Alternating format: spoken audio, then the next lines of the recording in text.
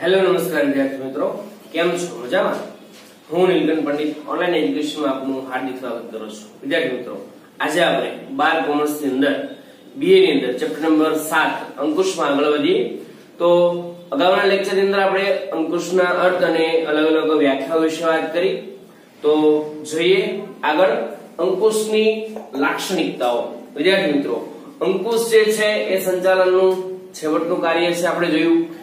જે કઈ કાર્યો થાય છે એના પર દેખરેખ રાખવાનું, નિયમન કરવાનું કાર્ય છે અંકુશનું છે. તો જેને આપણે અલગ અલગ લાક્ષણિકતાઓ દ્વારા સમજીએ. પહેલી લાક્ષણિકતા છે આયોજન સાથે સંબંધ. અંકુશ અને આયોજન સાથે સંબંધ છે. આયોજન થયા પછી જે જે કાર્યો થાય છે, વ્યવસ્થા તંત્ર, કર્મચારી વ્યવસ્થા દોરવણી ત્યાર પછી અંકુશનું કાર્ય શરૂ થાય છે. એટલે આયોજન છે તો જ અંકુશ છે, એવું કહી શકાય. એટલે કે આયોજન વિના અંકુશનું અસ્તિત્વ નથી. આયોજન અને અંકુશ એક સિક્કાની બે બાજુઓ છે. જેમ, એક સિક્કો છે, એની બે બાજુ એમ આયોજન અને અંકુશ. જો આયોજન છે, તો જ અંકુશ છે.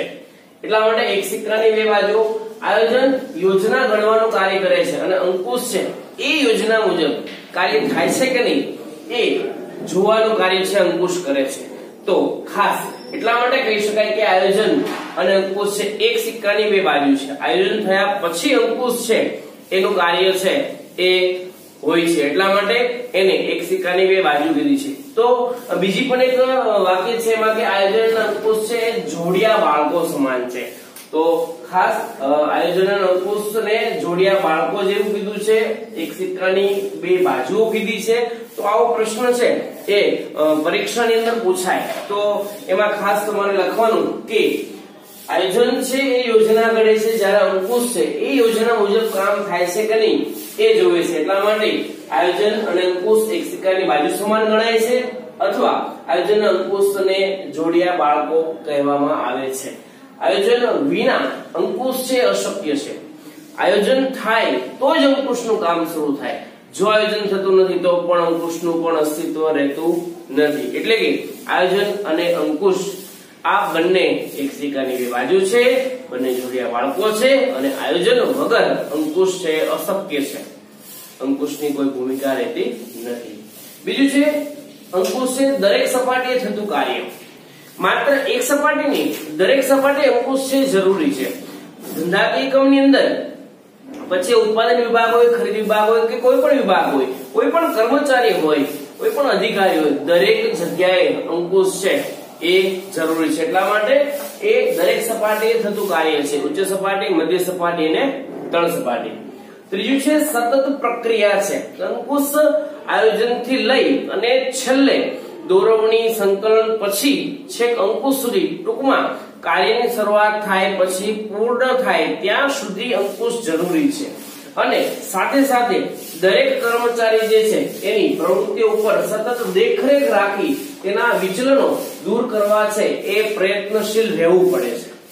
કારણ કે જે જે વિચલનો જેમ જેમ આવતા છે એમ એમ એ વિચલનોને દૂર કરવામાં આવે છે. એને સુધારવામાં આવે છે. એના સુધારલક્ષી પગલાઓ છે ભરવામાં આવે છે.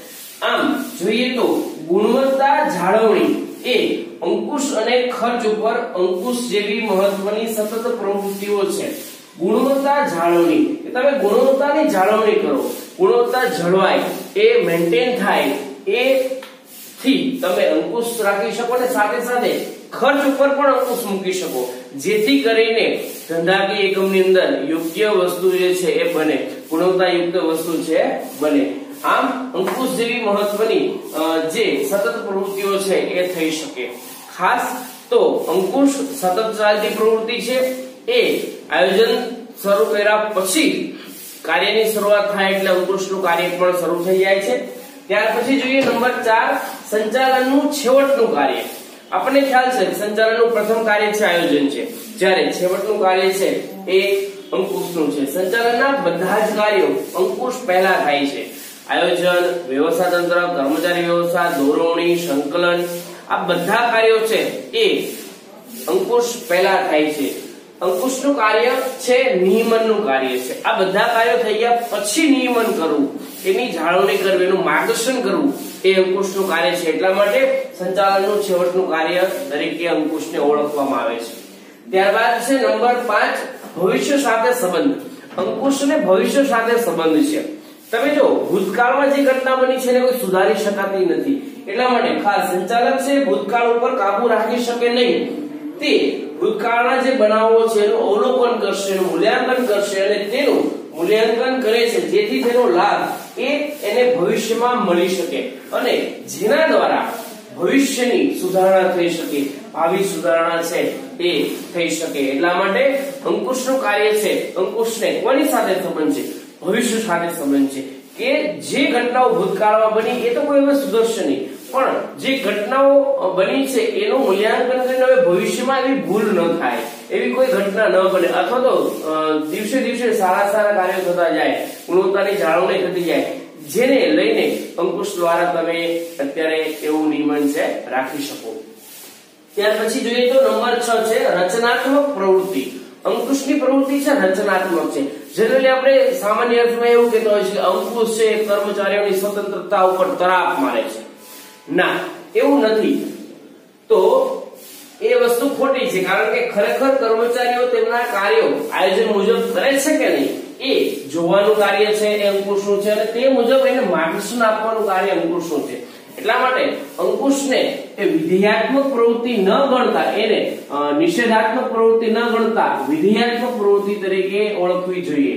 કારણ કે અંકુશ છે, જે કાર્યમાં વિચરણો આવે છે, ભૂલ પડે છે, એને અટકાવી અને એને સુધારવા લક્ષી પ્રયત્નો છે, કરવામાં આવે છે. એટલા માટે એને વિધેયાત્મક પ્રવૃત્તિ કહેવાય છે, રચનાત્મક પ્રવૃત્તિ કહેવાય છે. એ નિષેધાત્મક પ્રવૃત્તિ નથી. ત્યાર પછી નંબર સાત છે, આંતરિક પ્રક્રિયા.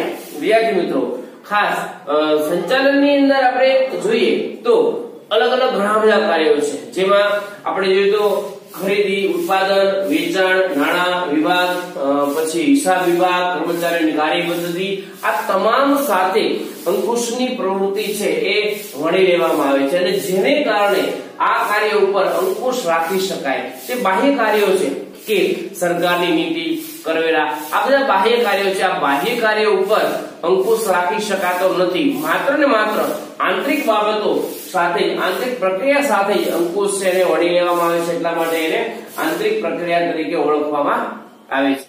ત્યાર પછી જોઈએ ગતિશીલ પ્રક્રિયા.